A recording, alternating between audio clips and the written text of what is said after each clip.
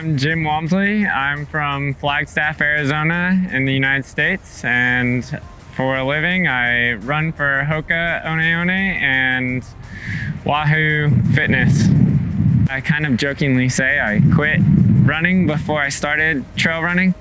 Um, I ran track and cross country in high school and university. So um, then I started working and basically found myself up in Montana where they didn't have much of a road running scene and I started getting into trail running and trying to explore kind of what a lot of uh, America and the US and specifically Montana had to offer to go see and it's just a gorgeous area. So uh, I started just exploring with trails and one thing led to another and I started just doing longer and longer trail races and realizing that's kind of where the sport goes and leads you to that 100K, 100 mile distance as the cream of the crop and the, the sweet spot to, to really explore and race competitively on the trails. So far, my best result probably has to be Western States 100 in the US. It's 100 miles in California, and I've set the course record there and won it three times now. For preparation, I typically do a training block. I try to get kind of focus on volume, so logging kilometers, and then I start logging my climbing in meters, and I try to hit like gradually build up a bit of strength and toughen my body, and then the month or a couple weeks before the race, I'll fine tune it from there. Um, different races have different things, and usually the faster the race, I'll do more speed work, and then uh, something like this race, I'll kind of just stick to kind of grindy climbing and harder running um, and not change too much.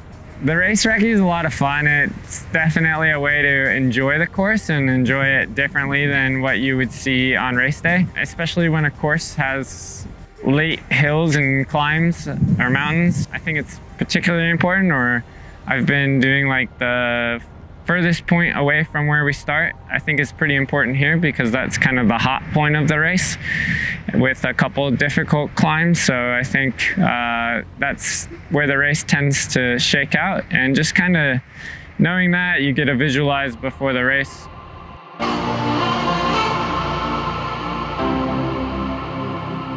A typical 100K race can vary a lot for me because I'll do anything from a road 100 which is just over six hours. And it's a lot of patience and it's typically really fast. This 100K in Cape Town is probably a little bit closer towards the other side of the spectrum. It's going to be a lot slower of course. Uh, it's a really, really early start at 4 a.m.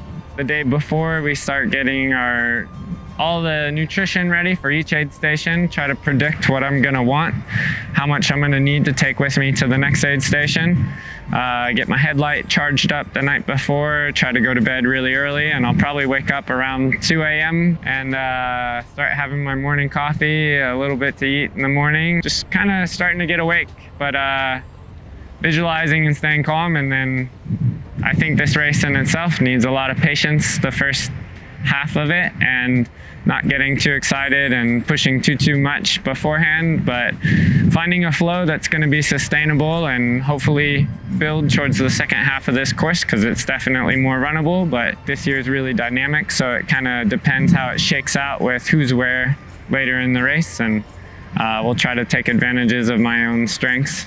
A lot of stubbornness drives me in a race. I think a lot of times i end up going out a bit quick and you kind of want to prove that that was the right decision and everybody's gonna talk about it if you collapse late uh, but that's endurance running and endurance sport is that happens and sometimes you overcook it but i like that challenge. I like pushing myself and seeing if i can get everything out of myself on race day and just give it 110% and there's no regrets no matter what happens